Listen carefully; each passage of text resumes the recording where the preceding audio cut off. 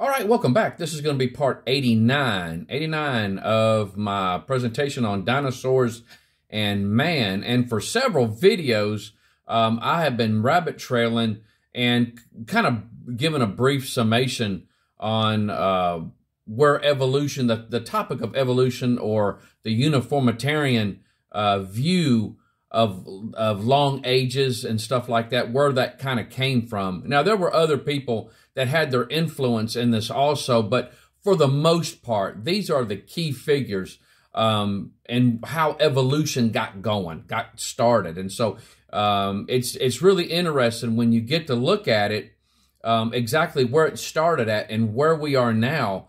Um, it really hasn't been that far along. But what I wanted to do is I wanted to um, show how close it was when it first got started to where they found those man tracks. Um, well, they, they call them man tracks, but the dinosaur and human tracks together.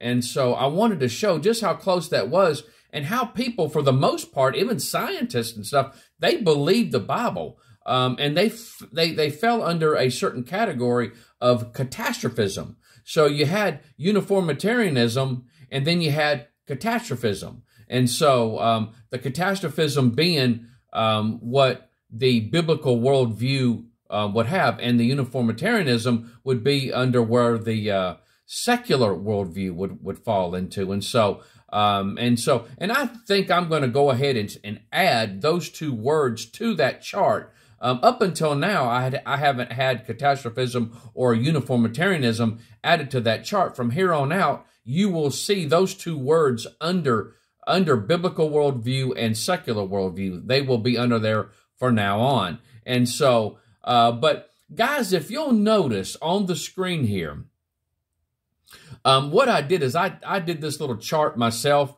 and this is to give you a little comparison on how close that the whole when whenever it really actually got started, um, that how close they were to the Paluxy River um, discovery.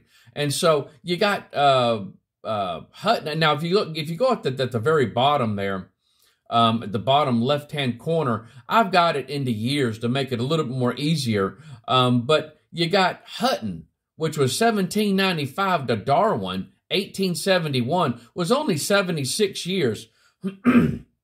Excuse me. Um, Darwin, 1859 to the Paluxy River.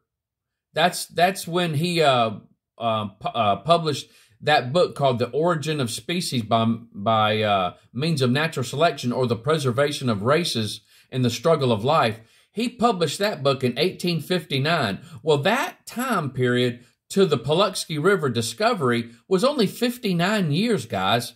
59 years. And so there's probably a lot of people have probably never heard of Darwin at that time. They didn't know who he was. Um, so you got Darwin in 1871 when he published The Descent of Man and Selection in Relation to Sex. That was the book where he said we come from apes. Um, and so that he theorized that we um, evolved from an ape-like creature. And so, so from 1871 to the Paluxy River discovery, it's only 47 years. So you can see how when those people discovered those tracks and saw those tracks, you know, they didn't think any think any you know much of it. You know, it wasn't no big deal. They believed the Bible, um, and uh, they didn't have any problem at all. Now, I will say this: now, if you'll notice on that chart there between Lyell and Darwin, I added Owen, Sir Richard Owen in there. That's around 1840, 1842, somewhere in that time period. That's the dates that I've been able to find, um, is when he coined that word dinosaur. Dinosaur. Now, from Owens uh, coining that word dinosaur, to um, the Paluxy River discovery is only 68 years, guys. Now, I have a dictionary from 1873. 1873. And do you know that the word dinosaur wasn't even didn't even make it to that dictionary yet? Now, th now think about it.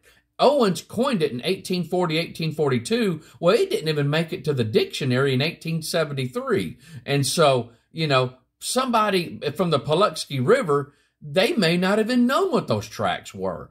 And I do say that because um, before that time there, uh, the Native American Indians in that area of Texas, they had they had uh, discovered dinosaur tracks in other areas, and they called them giant turkey tracks. Giant turkey tracks. And so it very well could be that even at that time, the American Indians, um, the Native American Indians, they didn't know what a dinosaur was or the word quote unquote what they would use back then, prehistoric. They had had no no idea. They just saw those giant tracks and said, "Man, those look like giant turkey tracks." And so again, people uh, seeing human tracks um, preserved, fossilized, they didn't think much of it. And a matter, and a matter of fact, from the from the information that I gave you before in, in previous videos, um, the people thought that it was probably a common thing all over the world and other people were seeing it. You know, they didn't think much of it. And so evolution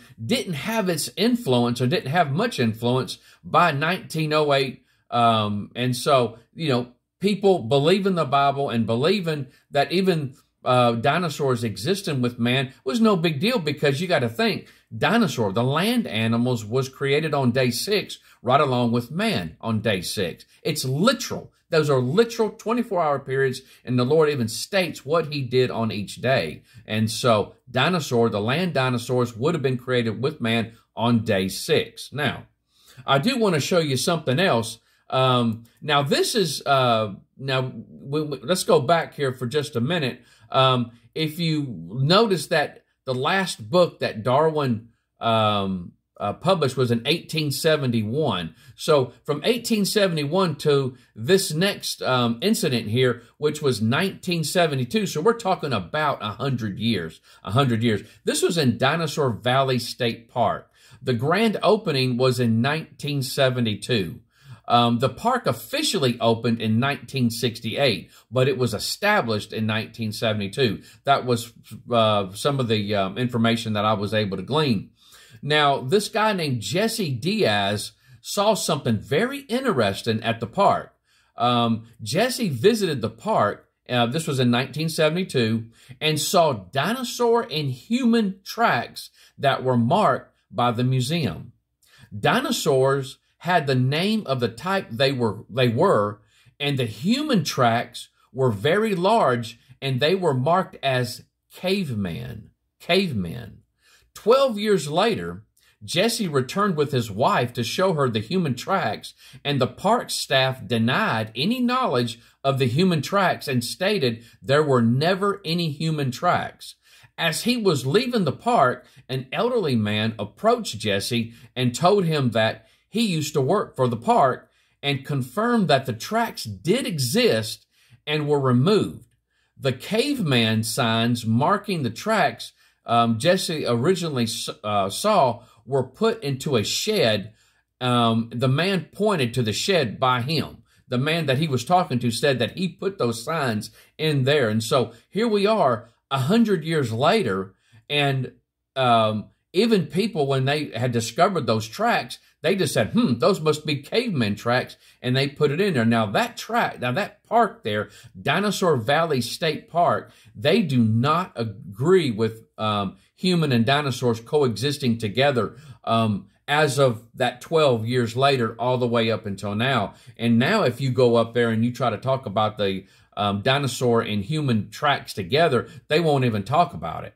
They won't even talk about it at all. I actually heard a video, an audio it was a video that had an audio of somebody that was asking one of the park staff about it, and they very rudely shut them down and said that they weren't going to talk about it and said that there weren't no human um, tracks in there. But Jesse here, Jesse Diaz here, um, you will see the video of him. Those are one of the videos that I will share, and you will see his testimony of where he actually eyewitnessed it himself.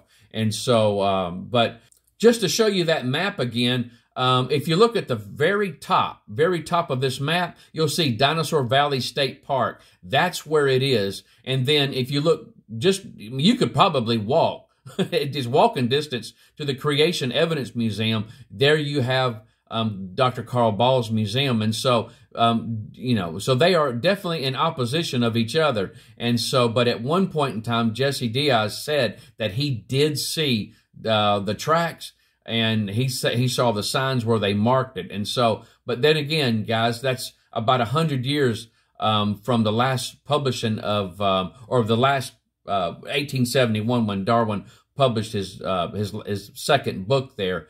All right, we're going to stop right there. When we come back uh, next time, we are going to continue right along with the dinosaur and human tracks and uh, discuss some more areas about it, some more information about it, give you some more background, and that way you'll have yourself some good, well-rounded knowledge about the topic. So you guys take care. I love you and hope the Lord blesses you real good. Bye-bye.